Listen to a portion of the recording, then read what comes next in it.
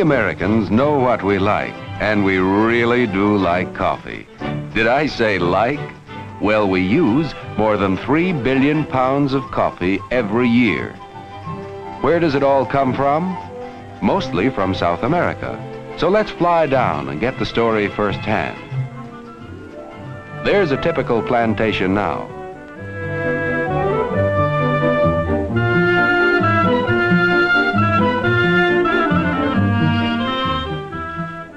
Many of the remote villages depend upon the plantations for their existence.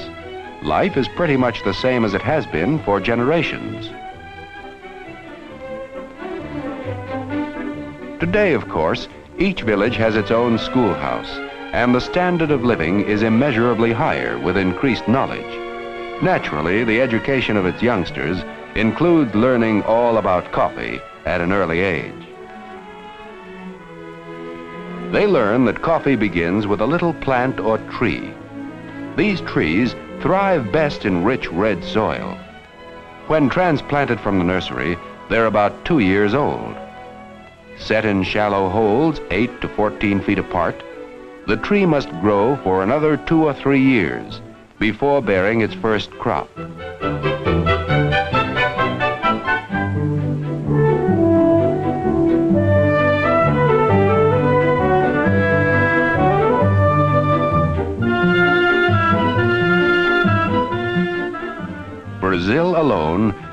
Than a million square miles of coffee country, an area larger than all the United States east of the Mississippi.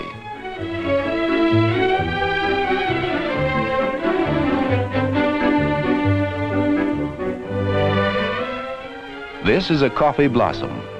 Eight to nine months after this blooming, the coffee fruit ripens and looks very much like a cherry.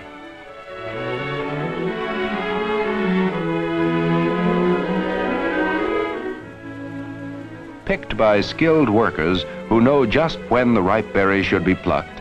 The average tree bears enough coffee beans to make about one pound of roasted coffee a year.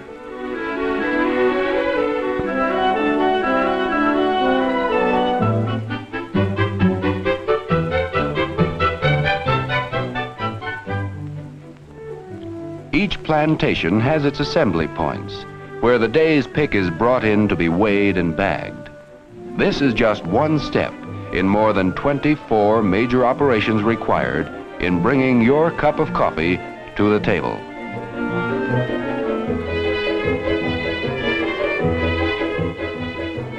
The berries must go through a crushing and washing process which takes place on the plantation.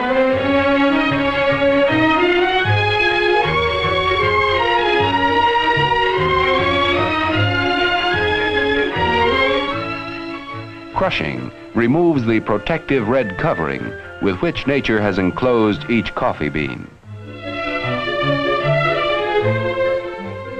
Then they are washed.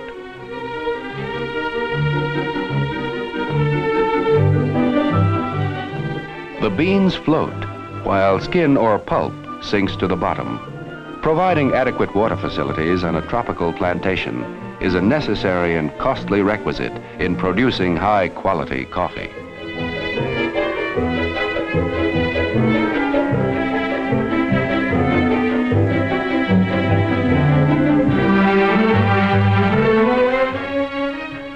Now encased only in its final hull, or parchment, the coffee beans are spread out to dry in the sun. This takes from 8 to 10 days. Men must rake and turn the beans so that they all will dry evenly. Then, packed in bags, the dried green coffee is ready to be sent into the city.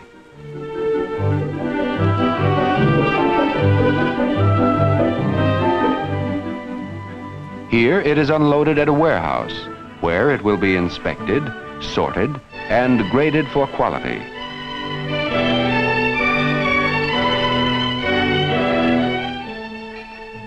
This initial grading is one of the most important operations in the selection of coffee.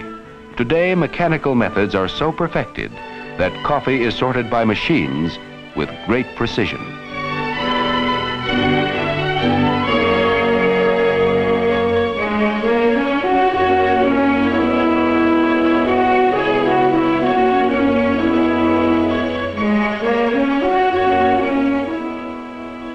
Bag after it is stamped with its country of origin, name, grade, and destination, is ready to go to the seaport, where final tests are made before shipment to the United States.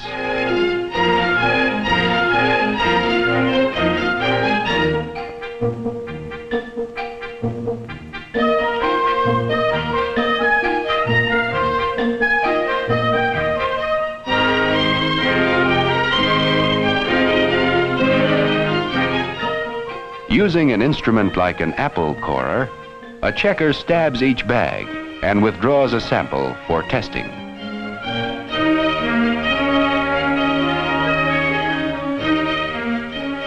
The A&P has its own coffee experts right on the spot to test and grade the contents of each bag to see that it meets the company's quality standards. Samples are flown to the United States, together with the experts' appraisals of grade and value.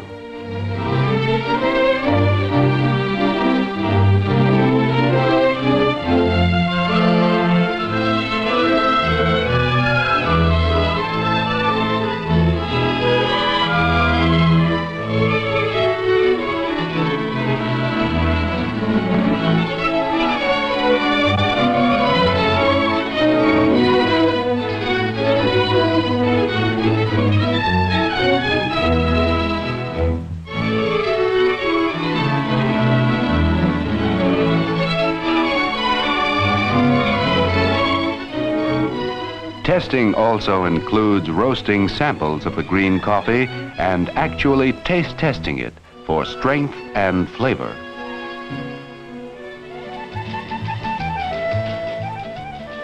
Today, many of the great cities of Latin America have been built largely upon the business of exporting coffee, which is one of their most valuable commodities.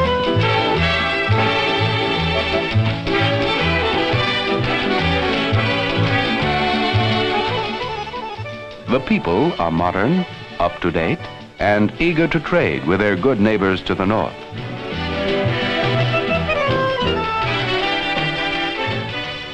When the coffee crop is good, business is good. For coffee means the same to these people and their ability to buy the things they need as wheat to a farmer in Nebraska or corn to Iowa and Kansas.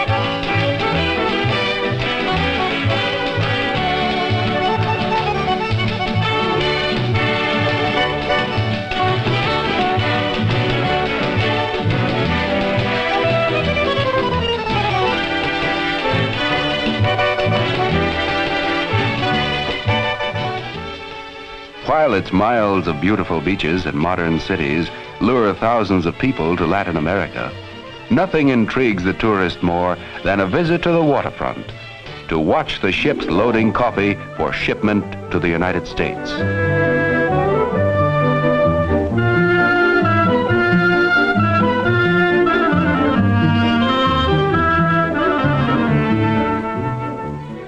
Now a cargo of coffee is loaded aboard ship with the same care you'd use in storing food in your home. You know some foods must be kept dry. A sudden drop in temperature upon leaving the tropics could cause dampness in the ship's hold. This moisture could injure the coffee unless the beans are carefully stowed.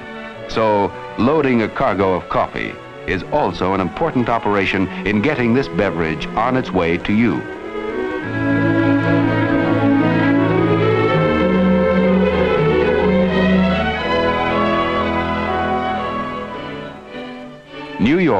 New Orleans, and San Francisco are the principal ports through which coffee arrives in the United States.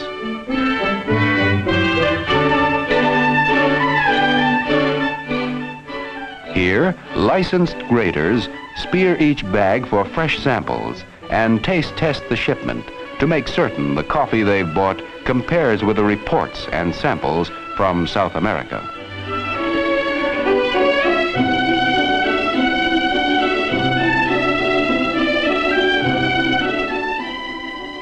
Based upon the findings of these experts, one coffee is mixed in the blending machine with another to produce the bouquet, the aroma, the flavor desired.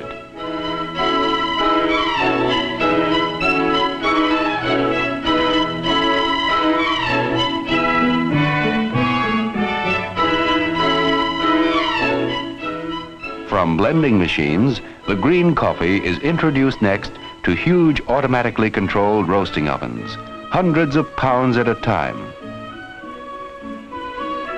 Done to a turn, cascades of precisely roasted beans are released at just the right moment, ready to be freshly sealed into packages the very same day.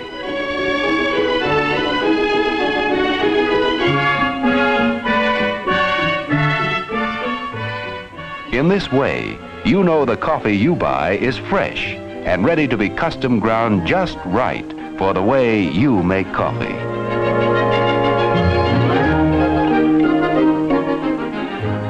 Yes, we North Americans really do like coffee. We drink around 120 billion cups a year. After all, Drinking coffee is one of life's pleasures, a pleasure that cannot be duplicated by any other beverage.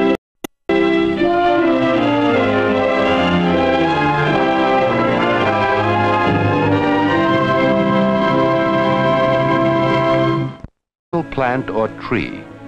These trees thrive best in rich red soil. When transplanted from the nursery, they're about two years old. Set in shallow holes, 8 to 14 feet apart, the tree must grow for another two or three years before bearing its first crop.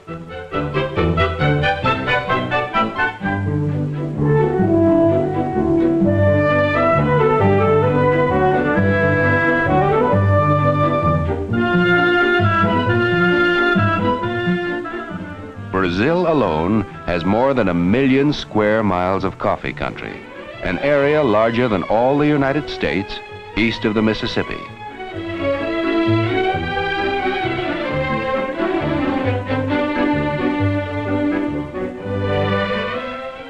This is a coffee blossom. Eight to nine months after this blooming, the coffee fruit ripens and looks very much like a cherry.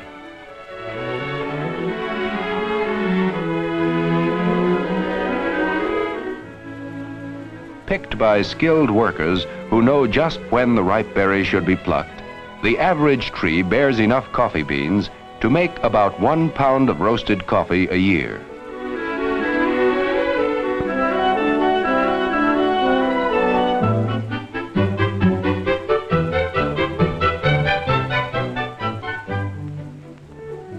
Each plant like an apple corer, a checker stabs each bag and withdraws a sample for testing.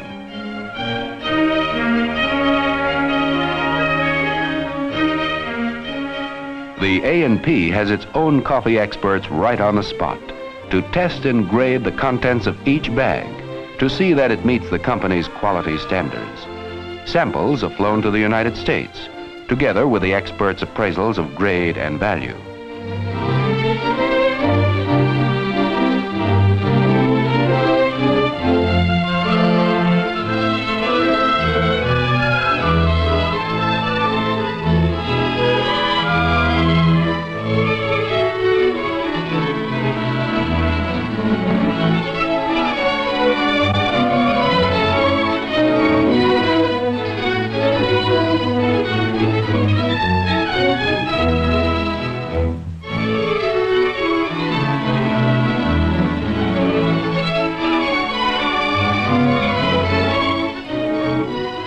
Testing also includes roasting samples of the green coffee and actually taste testing it for strength and flavor.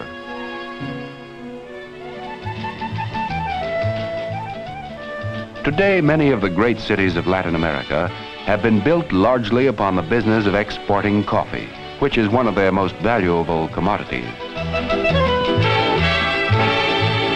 So that they all will dry evenly. Then, packed in bags, the dried green coffee is ready to be sent into the city.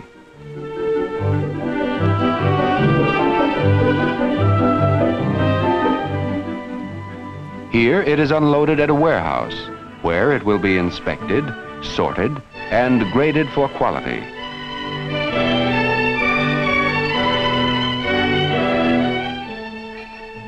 This initial grading is one of the most important operations in the selection of coffee. Today, mechanical methods are so perfected that coffee is sorted by machines with great precision.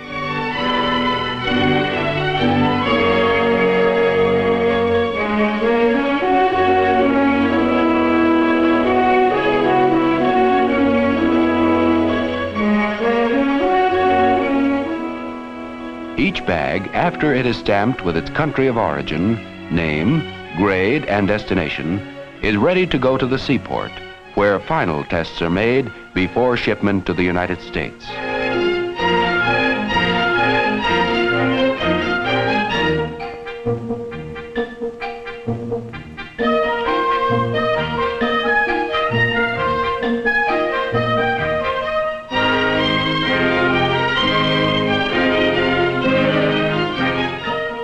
Using an instrument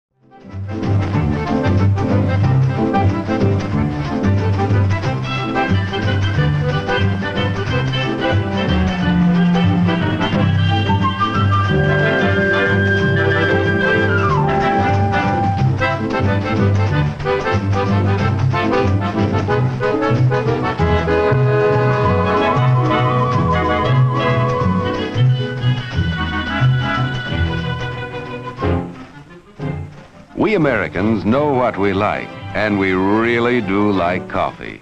Did I say like? Well, we use more than 3 billion pounds of coffee every year. Where does it all come from? Mostly from South America. So let's fly down and get the story firsthand. There's a typical plantation now.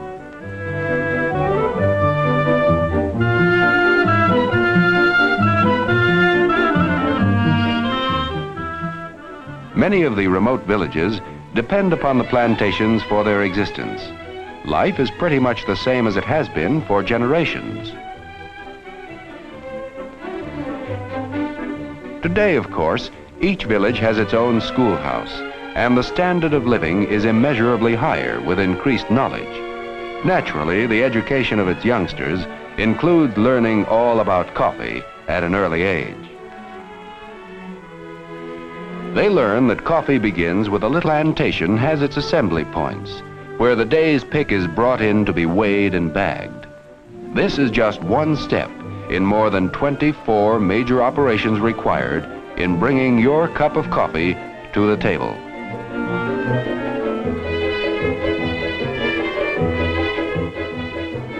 The berries must go through a crushing and washing process which takes place on the plantation.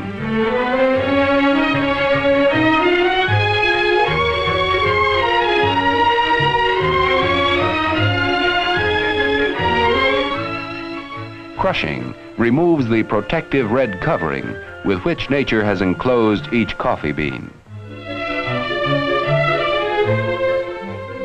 Then they are washed.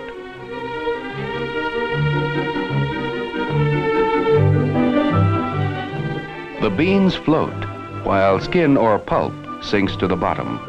Providing adequate water facilities on a tropical plantation is a necessary and costly requisite in producing high quality coffee.